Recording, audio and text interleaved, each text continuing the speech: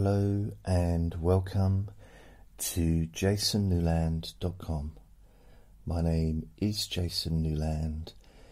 This is relaxation, hypnosis for stress, anxiety, and panic attacks.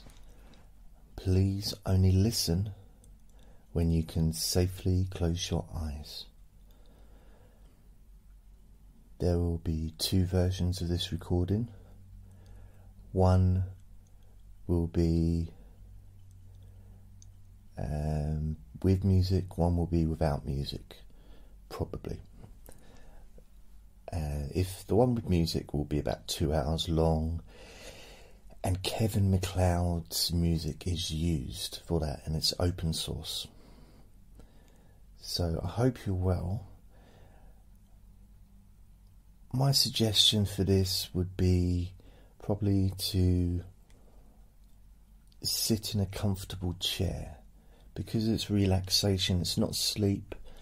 Doesn't mean that you won't fall asleep, but it is a relaxation session. Uh, if laying down on your bed is more comfortable, which it probably is for most of us, really, I guess, in some ways, uh, there is a higher chance of falling asleep. And if I was lying down listening, I would 100% fall asleep.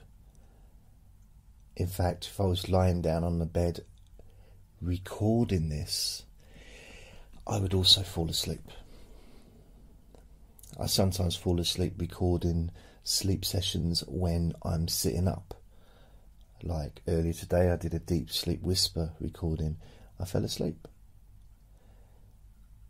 Yesterday, I did.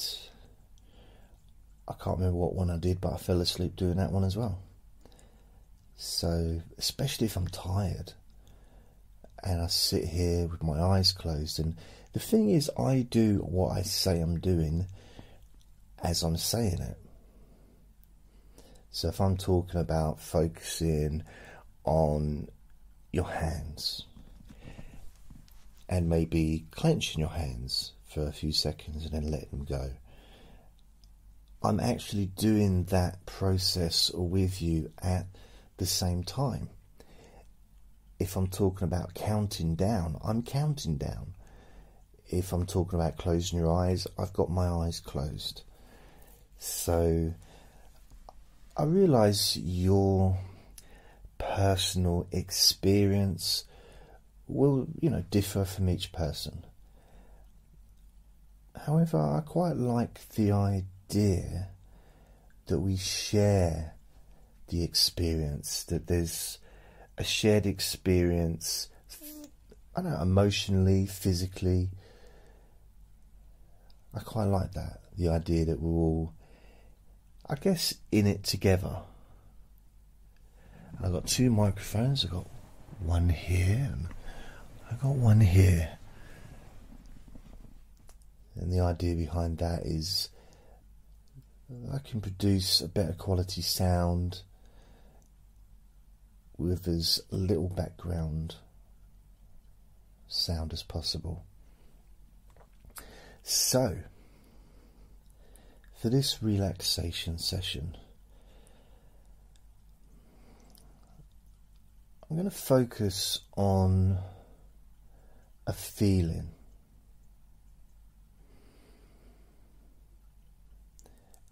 And I guess you can call this feeling, you call it anything, I suppose, but the feeling I'm talking about is a feeling that things are going to be good. You know, a sense that you're going to feel more relaxed.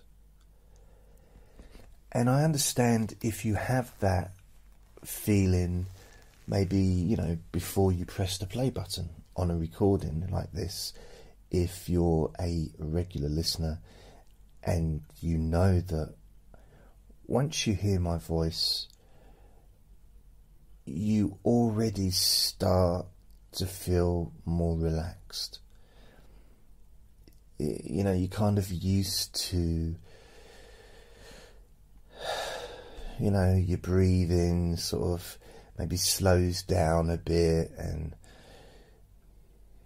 your mind clears. Perhaps sometimes you feel that there's a, a fogginess in your brain and it tends to clear when you hear my voice. And I think that feeling of having your mind clear away the fog. Lets you see what's really happening, lets you see the reality of what's happening in your mind, as opposed, I suppose, a, a, a similar situation would be when it's dark. You know, you're in a room. Maybe, I mean, it could be an unfamiliar room, so you kind of definitely might may not know what's going on in that room. You may not know where things are. If you're visiting someone and you go to bed and then you sort of wake up and you're in the dark and you can't quite place where you are. You know, the furniture's in a different place. There may be things on the floor you don't didn't know were there. I mean, they might have a, a dog and there might be dog's toys on the floor the only way you can see what's in the room is by turning the lights on. And immediately you feel more peaceful. Immediately you feel okay, like, oh, things are going to be alright.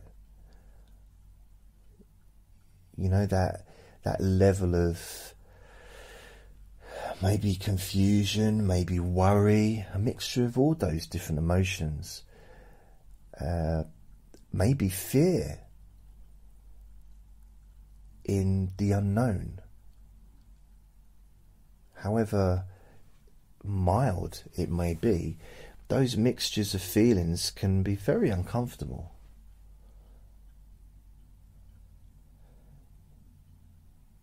But now, once you've got the light on, you can see where you are and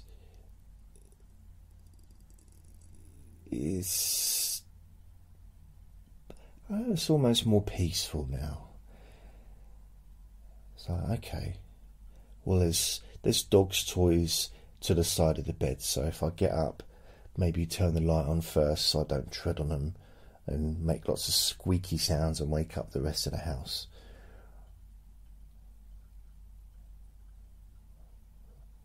So, you know, just those little bits where you can almost plan.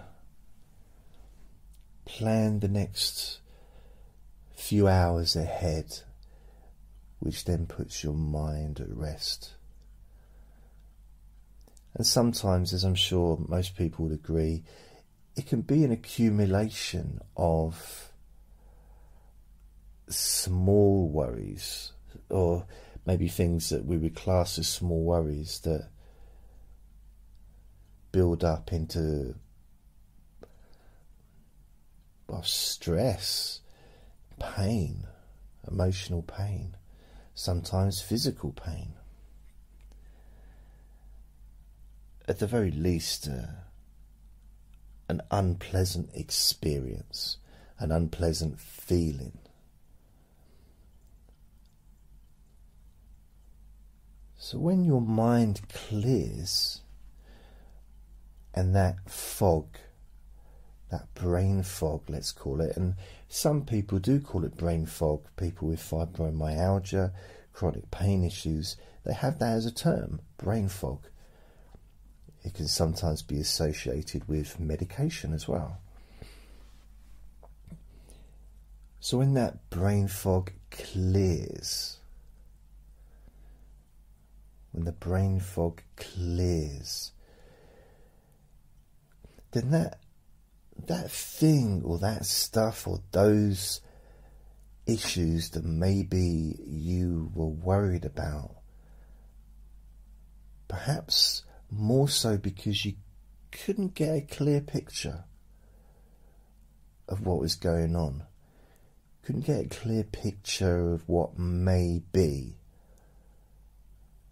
So, therefore, you had to fill in your own answers to those questions.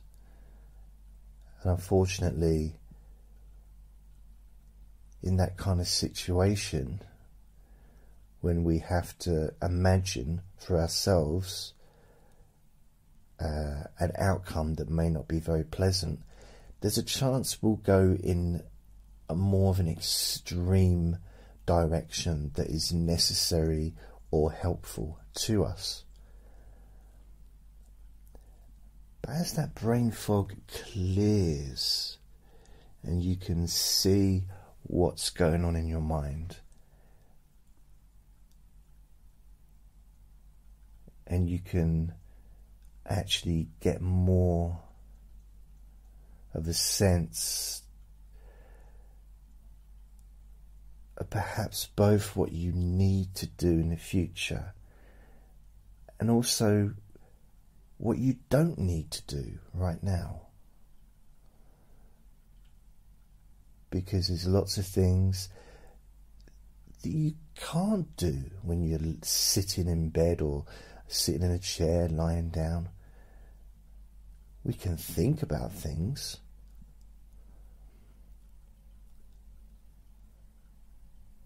But how much use is that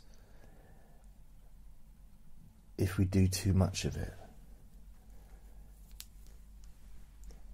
Because when you're sitting down, such as now, for example, or laying down on a bed, and your aim is to feel more relaxed.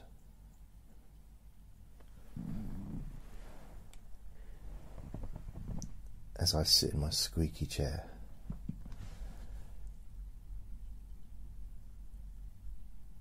this isn't the time to really plan your future. This isn't the time to plan what you're going to be eating tomorrow. This isn't the time to be planning anything really. Because that stuff, whether important or not in your life, has no place in this space that you're in right now. That stuff is unimportant right now for this situation. Because all you need here is to feel relaxed. All you feel is what you feel. And when all you're feeling is just physical sensations, then that can change because as you focus on those physical sensations, and let's say maybe they are uh, sensations of tension or stress in your muscles, the more you focus on them, the more they dissolve. The more attention you give to them, the more satisfied they seem to feel that they have gained your attention. Because sometimes that's all physical feelings of discomfort actually need from you is your attention. Like a small baby crying the baby might not actually need anything, not want anything except to see your face. Maybe to feel your touch. A little hug, maybe. And then the baby's happy, contented, and goes back to sleep. And it seems that sometimes physical discomfort or emotional discomfort can be a very similar situation where if we ignore it, which is the natural thing to do, it's the most natural thing in the world is you want to ignore it because you don't you don't want it to happen. You don't want that experience. But if you actually give it your attention but with a positive mind then that feeling changes all feelings constantly changing anyway, but that feeling of discomfort changes, whether it's emotional or physical, because it's had your attention. And when you think about it, when you focus on it, instead of expecting it to get worse, because if that's what you expect, that's what's going to happen. You can expect for it to reduce. And if that's how you feel about it and that's what you're thinking, that is what's going to happen. You could even be neutral and just be almost in a, a meditation mind where you just notice the feeling, whether it's physical or emotional or both. Just notice just observe the feelings in your body and the feelings in your mind. Just observe them, and those feelings will reduce because they have had your attention.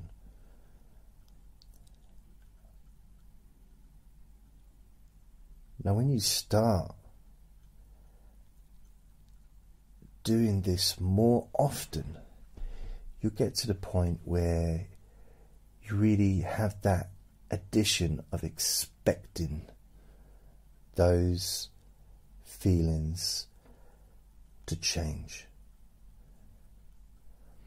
And that happens naturally because that's your experience. You can do it without having had the experience before but eventually it happens naturally.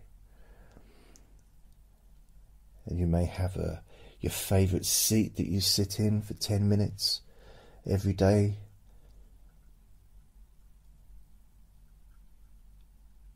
Maybe at a specific time, even. Some people are very organised. I'm not particularly. But when you sit down in that chair or lay down on your bed, you you know what to expect. You'll know that your body automatically starts to feel more relaxed. Not because I'm telling you that, because that's what happens. And it happens more and more often the more often you hear my voice. Because you've, I guess, almost become accustomed to expecting yourself to feel more relaxed when you hear my voice.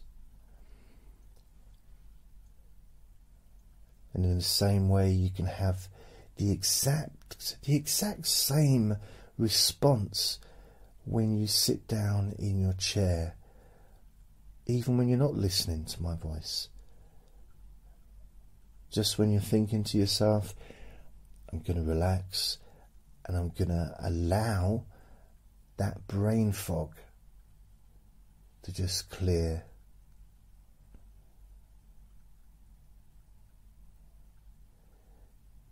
I mean, it really is kind of a like a very windy day, blowing those clouds across the sky.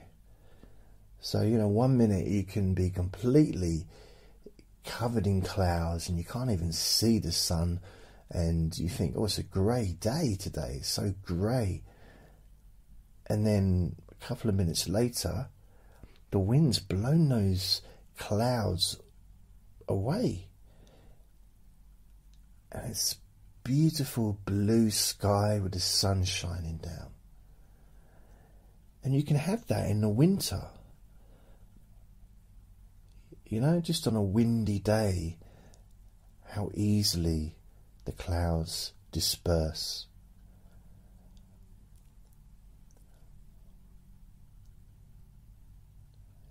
And things can seem clearer to you, and you know that, ah, I mean, that can remind you that things are going to be okay. Because even though in reality we all know that behind the clouds is a blue sky with the sun. The, cli- the, the sky doesn't change its colour. It's just we have clouds in front of the sky. Visually, we see the clouds. Once you're above the clouds in a plane, it's a blue, beautiful sky with the sun. It could be any time of the year because every time of the year it's exactly the same up there.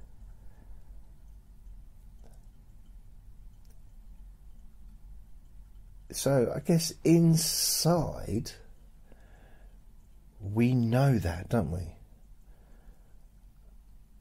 We know that it's actually a blue sky and the sun is shining. Even though we may be looking up at the sky and it's grey, and that's all you can see, maybe foggy, you know, who knows, raining, whatever, snowing, but it's still sunny. You just might not be able to see the sun.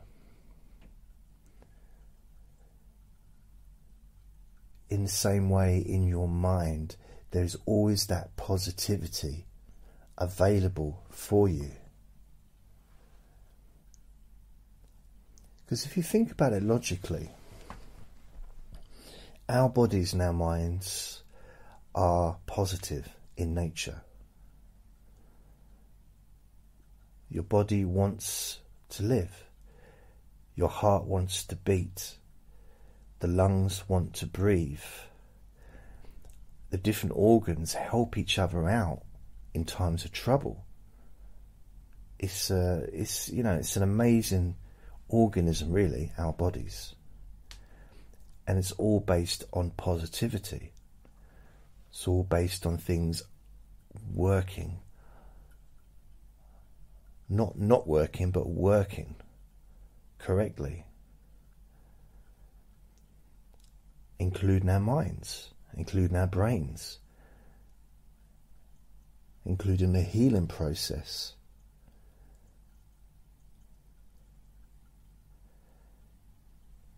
So under underlying maybe things like stress and you know depression and things like that, there is positivity behind the clouds.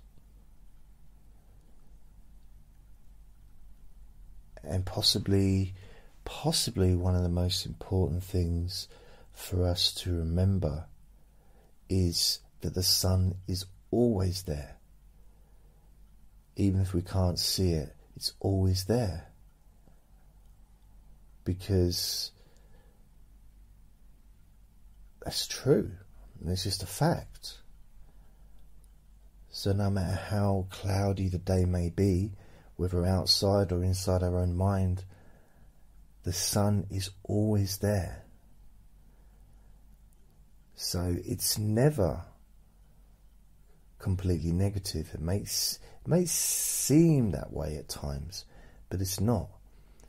Because you can't see the negativity without the positivity shining on it. You still need that positivity, otherwise, there'd be nothing there. Positivity is our foundation.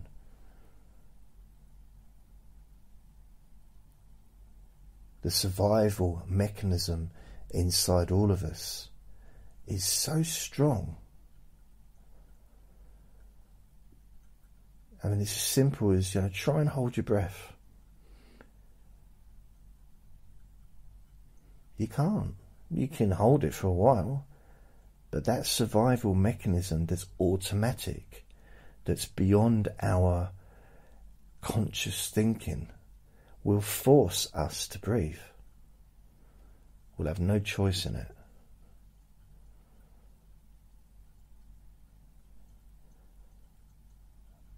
In the same way as when you push your, put your hand on an oven, hot oven, your hand pulls away. It's not conscious. And no matter what you did, you could try and pull your hand against it. You would have to pull your hand away. But not consciously, unconsciously, you would be forced to do that because of the survival instincts, that positivity that underlies our existence.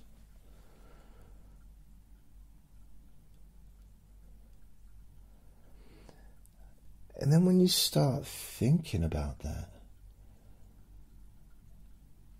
start realizing that the foundation of our existence is positive.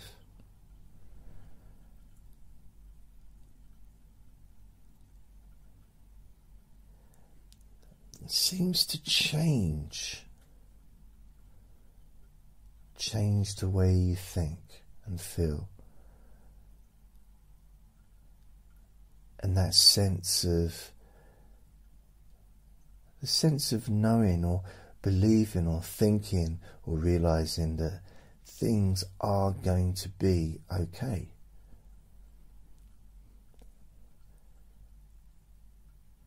Because we are born with that. I mean, literally born with that fighting spirit. As anyone has ever seen a baby, babies fight. They will fight to stay healthy. Every every single atom in a baby's existence is based on survival. They haven't needed to be taught that.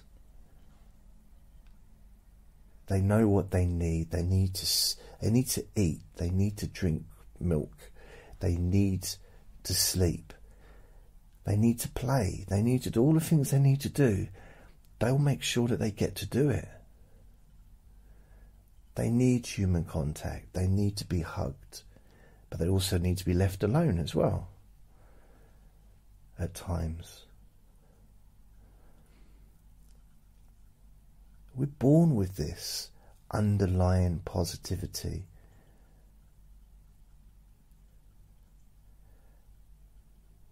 Which means that actually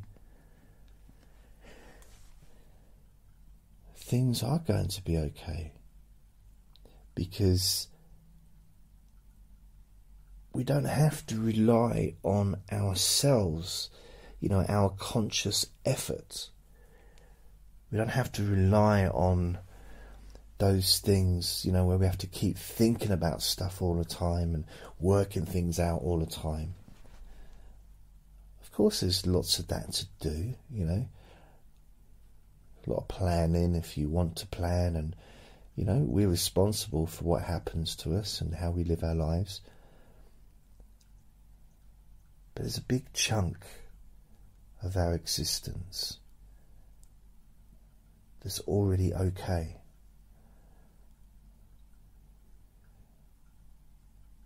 That's already happening.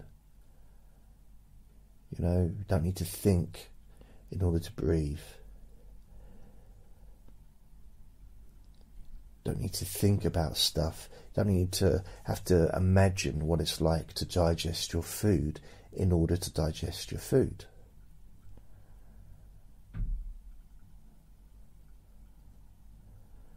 these things just happen naturally. And there's other natural processes that perhaps we lose, we well, not lose, but we maybe forget about as we get older and can be reminded of. Those things like being able to enjoy some of the some of the little things in life to gain pleasure and happiness in the moment to be able to rest to be able to relax deeply to be able to get excited about things to be enthusiastic about the future.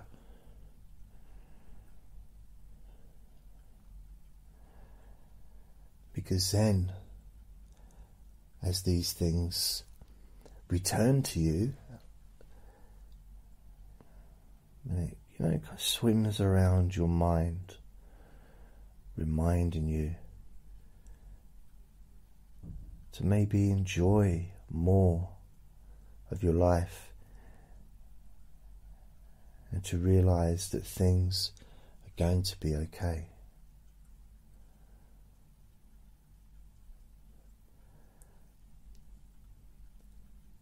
And there's a, it can be a real sense of relief physical, emotional, stress, you know, big relief, followed by a sense of relaxation through your body,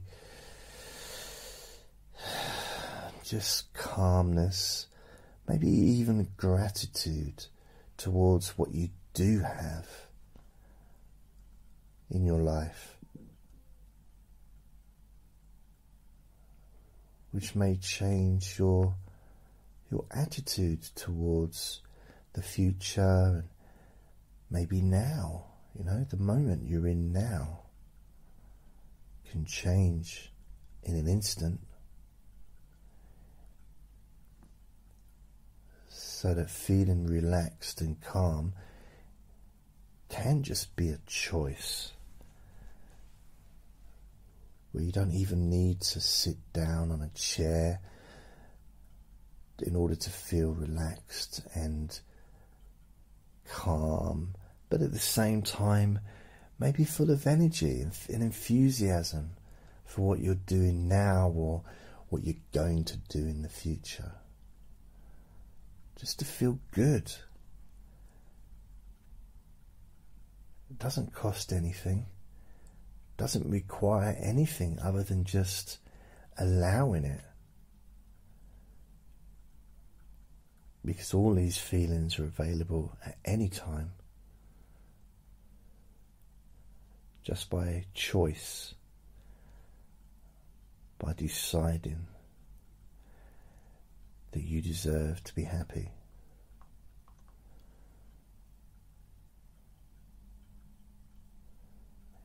that you deserve to feel good inside, to feel relaxed.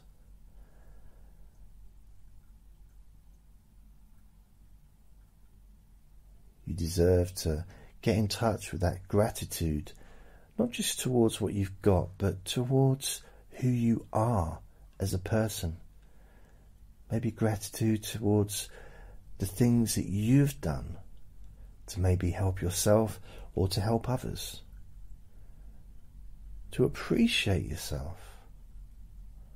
Really appreciate yourself. Now,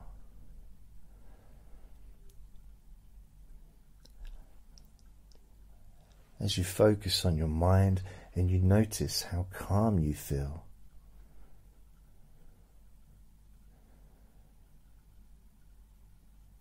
This feeling moves into the future. and you can add sprinkles of excitement, enthusiasm. You can plant those seeds in your mind now, literally, because you know your mind is the most fertile soil in the world, on the planet.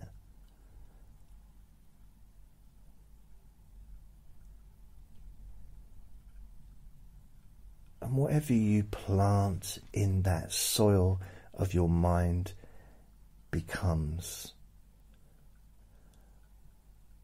What you want it to be.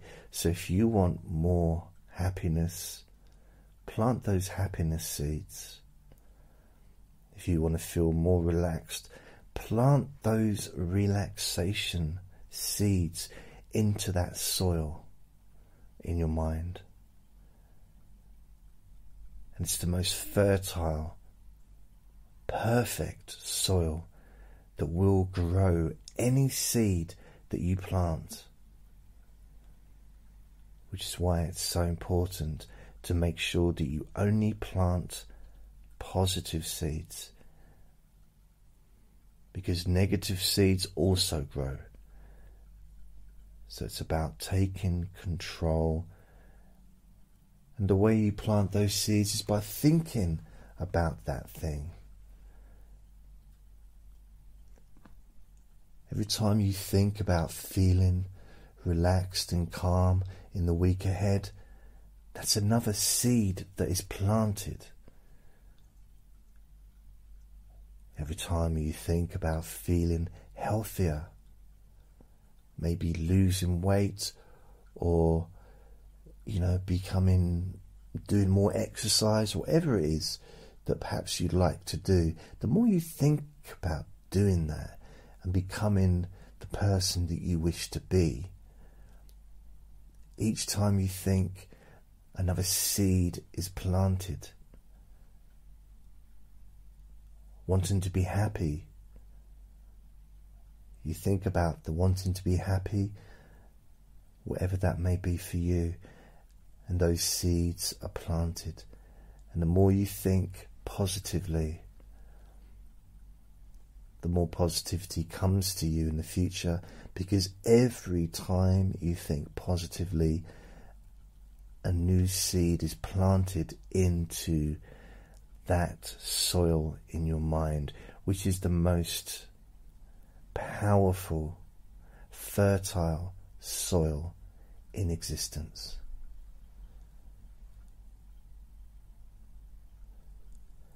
So every time you think positively, you are planting positive seeds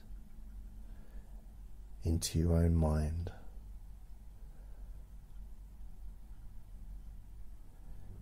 Which means you'll be happier, so much happier, and you can live the life that you decide. And you can feel more relaxed, calmer, at peace, both physically and emotionally.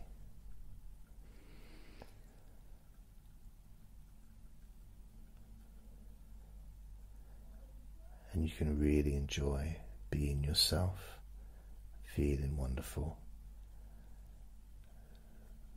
So I'm going to bring the recording to an end on this side. Of course, if you're listening with music, then just continue listening. You can enjoy the rest of your day. Remember to be kind to yourself because you deserve to be happy. Lots of love. Bye.